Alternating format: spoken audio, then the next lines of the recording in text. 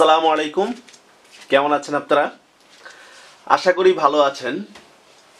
আজকে আমি আপনাদের সামনে উপস্থিত হয়েছি বাংলা সাহিত্যের ইতিহাসের আধুনিক যুগ নিয়ে। আমরা ইতোপূর্বে বাংলা সাহিত্যের প্রাচীন যুগ ও মধ্যযুগ নিয়ে বিস্তারিত আলোচনা করেছিলাম। তারই প্রেক্ষিতে আজকে আমরা বাংলা সাহিত্যের আধুনিক যুগ নিয়ে যুগ নিয়ে আলোচনা করব। তো শুরু করি আমরা আমাদের আলোচনা। দেখি আমরা। বাংলা সাহিত্যের ইতিহাস আধুনিক যুগ। দেখুন প্রথমে দেখি বাংলা সাহিত্যের ইতিহাস আধুনিক যুগ বলতে আমরা কি বুঝি? দেখুন, আঠারোশো এক সাল থেকে নিয়ে বর্তমান পর্যন্ত মানে এটাকে আঠারো শতক থেকে শুরু হয় বাংলা সাহিত্যের আধুনিক যুগ। বাংলা সাহিত্যের আধুনিক যুগ শুরু। বাংলা সাহিত্যে গদ্যের সূচনা হয় উনিশ শতকে। বাংলা সাহিত্যে গদ্যের সূচনা হয় উনিশ শতকে। এগুলা দেখুন অন্য কালি দিয়ে এগুলো কিন্তু পরীক্ষার জন্য খুব বেশি ইম্পর্টেন্ট বাংলা গদ্যের উৎপত্তি, দেখুন, পনেরোশো পঞ্চান্ন সালে আসামের রাজা স্বর্গদেবকে লেখা কুচবিহারের রাজা নরনারায়ণের একটি পত্রকে বাংলা গদ্যের প্রাচীনতম নিদর্শন বলা হয়। কত সালে এটাই প্রাচীনতম নিদর্শনটা? পনেরোশো পঞ্চান্ন সালে। বাঙালি লেখা প্রথম মুদ্রিত গ্রন্থ কোনটি দেখুন? সতেরো শতাব্দীর শেষ ভাগে ঢাকার ভূষণার জমিদার পুত্র পাদ্রি দোম আন্তনিয়র একটি লেখা কি? ব্রাহ্মণ রোমান ক্যাথলিক সংবাদ। এইটা হচ্ছে বাঙালির লেখা প্রথম মুদ্রিত গ্রন্থ। এইটা। এছাড়াও পর্তুগিজ পাদ্রি ম্যানুয়েল দ্য অ্যাসম্পাও কর্তৃক রচিত দুটি গ্রন্থ। কি গ্রন্থ দেখুন? বাংলা পর্তুগিজ শব্দ ও কৃপার শাস্ত্রের অর্থভেদ এটা কিন্তু অনেক বিখ্যাত। এই কৃপার কৃপার শাস্ত্রের অর্থভেদটা হচ্ছে বাংলা কথ্য ভাষার আদি গ্রন্থ। এই কৃপার শাস্ত্রের অর্থভেদ বাংলা গদ্য সাহিত্যের প্রাথমিক নিদর্শন। সতেরোশো তেতাল্লিশ সালে বইগুলো পর্তুগালের লিসবন থেকে বের হয়। বইগুলো যদিও বাংলা ভাষায় রচিত, তবে এগুলো রোমান অক্ষরে ছাপানো ছিল। তো দেখুন এই যে, এই বাঙালি লেখা, এই যে মানে রোমান ক্যাথলিক সংবাদ এবং এই যে ম্যানুয়েল দ্য অ্যাসম্পাল লেখা বইগুলো, এইগুলা সব রোমান অক্ষরে ছাপানো হয়। আর বাংলা অক্ষরে প্রথম মুদ্রিত গ্রন্থ, দেখুন, আঠারোশো সালে শ্রীরামপুর মিশন প্রেস থেকে ছাপানো মথি রচিত মিশন সমাচার এটা। তাহলে দুইটা কোশ্চেন একটা হচ্ছে বাঙালি রচিত প্রথম গ্রন্থ কোনটা? আর একটা হচ্ছে বাংলা অক্ষরে লেখা প্রথম গ্রন্থ কোনটা? আচ্ছা এরপর দেখি আমরা বাঙালি রচিত বঙ্গাক্ষরে। কারণ দেখুন, শ্রীরামপুর মিশন থেকে যেটা বাংলা অক্ষরে বেরোয়, এটা কিন্তু মানে বাঙালি রচিত না। দেখুন, বাঙালি রচিত বঙ্গাক্ষরে প্রথম মৌলিক গ্রন্থ রাজা প্রতাপাদিত্য চরিত্র। এখন আমরা যেটাকে দেখলাম শ্রীরামপুর মিশন এর সম্পর্কে একটু বিস্তারিত দেখি। বাংলা গদ্যের বিবর্তনে এই মিশনের অবদান অনস্বীকার্য। মিশনটির লক্ষ্য ছিল খ্রিস্ট ধর্ম প্রচার করা। কারণ মিশন ফলশ্রুতিতে বাইবেল সহ অনেক গ্রন্থ বাংলায় অনুদিত হয়। আঠারোশো আট সালে মিশনটি ডেনিশদের থেকে ইংরেজদের কাছে চলে আসে। তাহলে এখান থেকে একটা কোশ্চেন যে আসলে এই শ্রীরামপুর মিশনের মেইন মালিক ছিল কারা? ডেনমার্ক। সেখান থেকে কারা নিচ্ছে ইংরেজরা কিনে নিয়েছে। মুদ্রণ উপযোগী বাংলা অক্ষর এখান থেকেই তৈরি হয়। আর উইলিয়াম কেরি, যিনি কিন্তু ওই যে আপনারা দেখবেন যে একটা ইউনিভার্সিটির ইয়ে ছিল, বাংলা বিভাগের অধ্যক্ষ ছিল, একটু পরে আমরা দেখব। উইলিয়াম কেরি এই মিশনের পাদ্রী ছিলেন, ফোর্ট উইলিয়াম কলেজের। আচ্ছা উত্তর আধুনিকতাবাদ সাহিত্যের মর্মে রয়েছে নৈরাস্যবাদ মানে আধুনিক যুগের পরবর্তী সাহিত্যে রয়েছে কি নৈরাস্যবাদ আর গণসাহিত্য শব্দে গণ দ্বারা বোঝায় হচ্ছে সাধারণ মানুষ, গণসাহিত্য। আচ্ছা এবার দেখুন বাংলা সাহিত্যের বৈশিষ্ট্যগুলো কি? প্রাচীন যুগ, ছয়শো পঞ্চাশ থেকে নিয়ে বারোশো। এখন ব্যক্তি ও সমাজ জীবনের প্রাধান্য, ধর্ম, গৌণ। ধর্মকে তেমন একটা বেশি ইম্পর্টেন্ট হিসেবে ধরা- হয়নি। মধ্যযুগ বারোশো বারোশো এক থেকে আঠারোশো। ধর্মের প্রাধান্য, ব্যক্তি ও সমাজ জীবন গৌণ। আর আধুনিক যুগ এ সময় কি স্বদেশ প্রেম ও মানবতা বোধটা বেশি প্রায়োরিটি পায়। এই জন্য মধুসূদন দত্তের সনেটগুলো কিন্তু স্বদেশ প্রেমের বহিঃপ্রকাশ বলে বলা হয়। আচ্ছা এরপর দেখি আমরা যে বাংলা সাহিত্যের বৈশিষ্ট্য নিয়ে। ডক্টর সুকুমার সেনের মতে বাংলা গদ্যের চারটি স্তর রয়েছে। দেখুন, প্রথম স্তর, এটা সূচনা পর্যায়, ষোলো শতাব্দী থেকে আঠারোশো সাল পর্যন্ত। আমরা দেখেছিলাম, পনেরোশো পঞ্চান্ন সালে বাংলা গদ্যের প্রাচীনতম নিদর্শন পাওয়া যায়। দ্বিতীয় শতাব্দী উন্মেষ, এটা হচ্ছে শ্রীরামপুর মিশনের কার্যাবলী, এটা বিদ্যাসাগরের আগ পর্যন্ত। তৃতীয় অভ্যুদয়, আঠারোশো সাতচল্লিশ থেকে মানে বিদ্যাসাগরের পর থেকে নিয়ে বঙ্কিম পর্যন্ত। চতুর্থ পরিণতি, বঙ্কিম থেকে নিয়ে বর্তমান বর্তমান কাল পর্যন্ত। এটা হচ্ছে ডক্টর সুকুমার সেনের মতে বাংলা গদ্য রীতির চারটি স্তর। আচ্ছা এখান থেকে দেখুন, প্রথম মুসলমান গদ্য লেখক কে ছিলেন? খন্দকার শামসুদ্দিন মোহাম্মদ সিদ্দিকী। ওনার একটা বিখ্যাত গ্রন্থ ছিল উচিত শ্রবণ, আঠারোশো ষাট সালে বের হয়। এটাই হচ্ছে মুসলমানদের রচিত প্রথম গদ্য লেখক। আচ্ছা এরপর দেখি আমরা Fort William college. Fort William college সম্পর্কে জানাটা কিন্তু খুব ইম্পর্টেন্ট কারণ এই ফোর্ট উইলিয়াম কলেজ থেকে কিন্তু বাংলা সাহিত্যের কিন্তু অনেক গুরুত্বপূর্ণ কার্যাবলী হয়। দেখুন, এই ফোর্ট উইলিয়াম কলেজটা কি? বাংলায় কর্মরত ইস্ট ইন্ডিয়া কোম্পানির কর্মচারীদের দেশি ভাষা শিক্ষাদানের জন্য আঠারোশো সালের চারে মে এই ওই কলেজটি স্থাপিত হয়। আর এই কলেজের কার্যক্রম শুরু হয় দেখুন চব্বিশে নভেম্বর। তাহলে কলেজ স্থাপিত হয় চারই মে, কিন্তু কার্যক্রম শুরু হয় চব্বিশে নভেম্বর। লর্ড ওয়েলসলি এই কলেজটা প্রতিষ্ঠা করেন। তাহলে কলেজটার উদ্দেশ্য কি ছিল? যে বিদেশি যারা বাংলাদেশে আছে, তাদেরকে বাংলা ভাষা শিক্ষা দেওয়া। আঠারোশো এক সালে কলেজটিতে বাংলা বিভাগ প্রতিষ্ঠিত হয়, যার অধ্যক্ষ ছিলেন উইলিয়াম কেরি। একটু আগে আমরা যেটা দেখেছি। আর উইলিয়াম কেরির রচিত একটা বই আছে, সেটা হচ্ছে কথোপকথন। এবার দেখুন কি করে?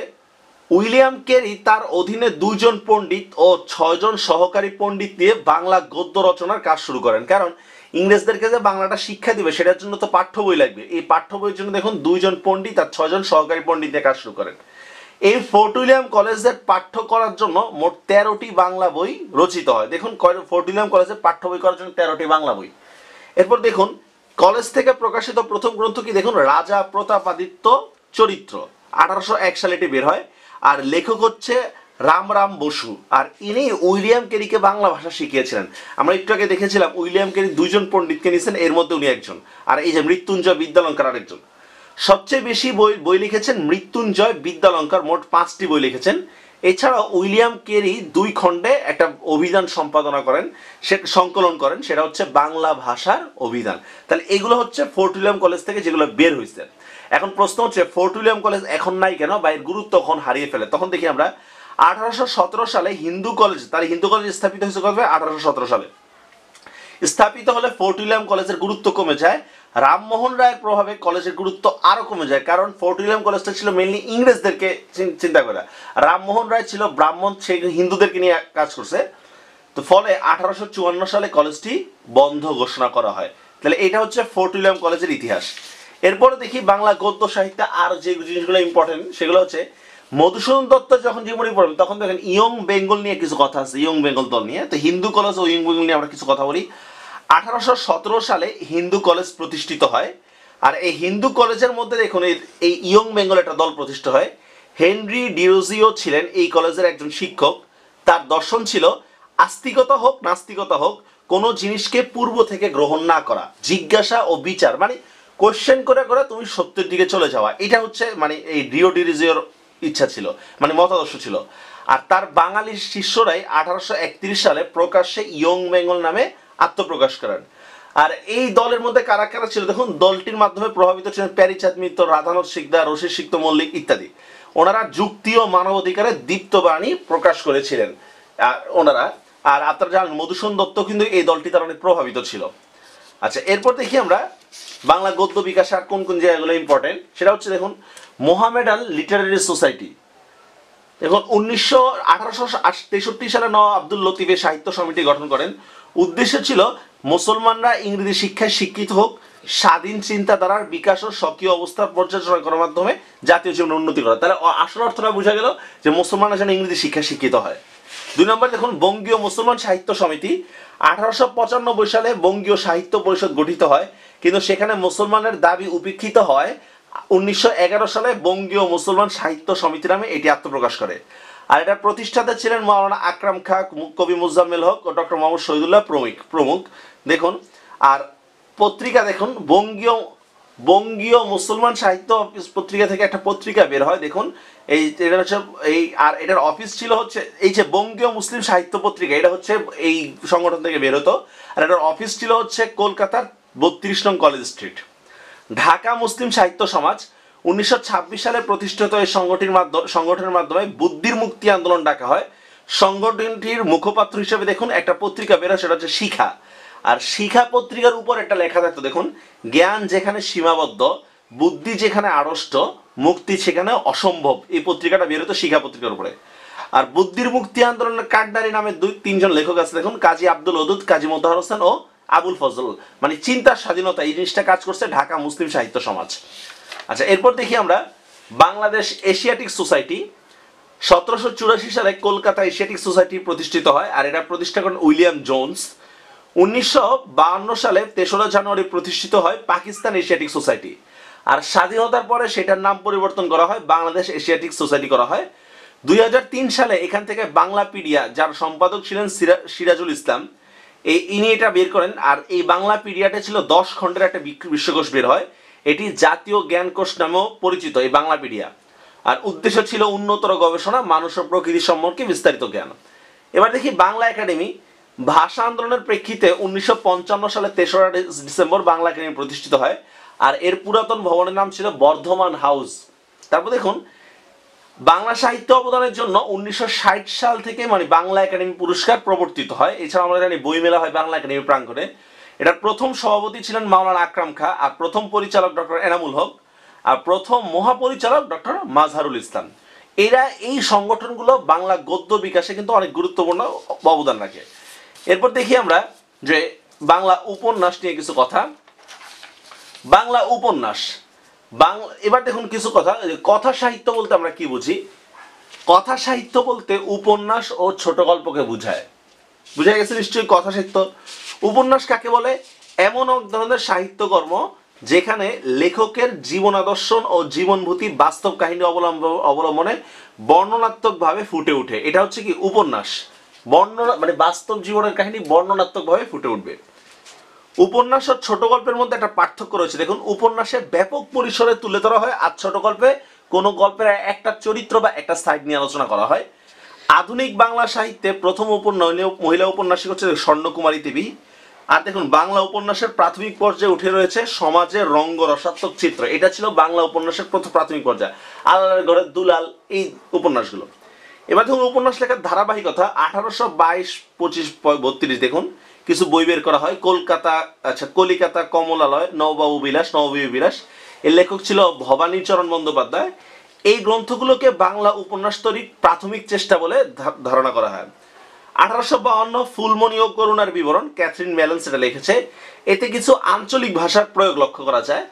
আঠারোশো আটান্ন বা কোনো সাতান্ন আলাদার ঘরের দুলাল, এটা প্যারিচাঁদ মিত্রের লেখা।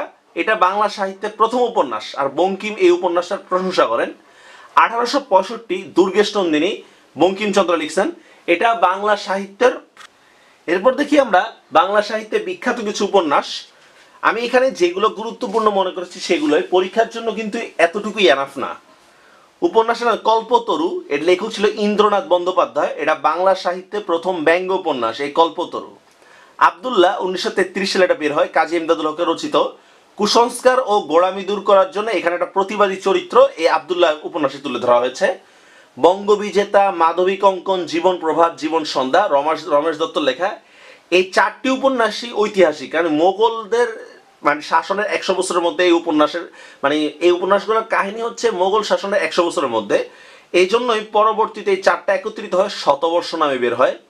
আনোয়ারা নজিবুর রহমানের লেখা গ্রামীণ জীবনের পটভূমিতে বাঙালি মুসলমানের পারিবারিক ও সামাজিক চিত্র এখানে তুলে ধরা হয়েছে। জোহরা মুজাম্মেল হলের লেখা হকের লেখা, কন্যার মত না নিয়ে বিয়ে দেওয়াকে কেন্দ্র করে এই রচনাটা শুরু হয়। আর রূপনগর বিখ্যাত একটা উপন্যাস ইমদাদুল হক মিলনের লেখা, এটার কারণে উনি বাংলা একাডেমি পুরস্কার পান। তো আশা করি বাংলা এই বাংলা সাহিত্যের আধুনিক যুগের প্রথম অংশ ভিডিওটা আপনারা বুঝেছেন। যদি ভালো লেগে থাকে ভিডিওটি, তাহলে অবশ্যই অন্যদের সাথে শেয়ার করবেন। কারণ আমরা চাইলেও অনেকের সাথে অনেক কিছু শেয়ার করতে পারি না।